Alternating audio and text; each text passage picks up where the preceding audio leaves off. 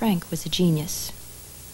He may have succeeded in creating a complete man using a synthetic compound which controlled the biochemical structure of an embryo's chromosomes and genes.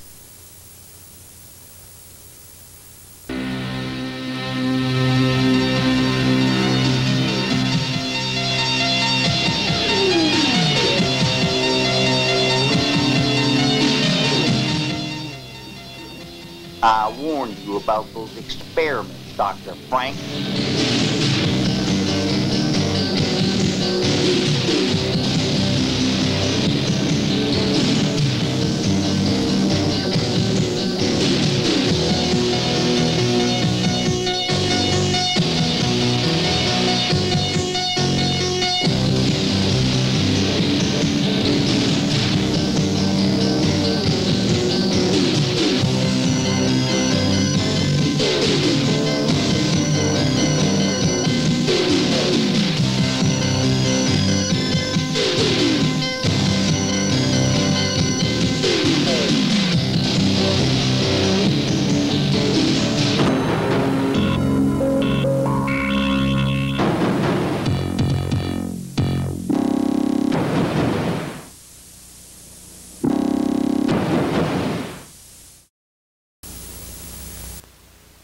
In exactly three hours, you will be pregnant.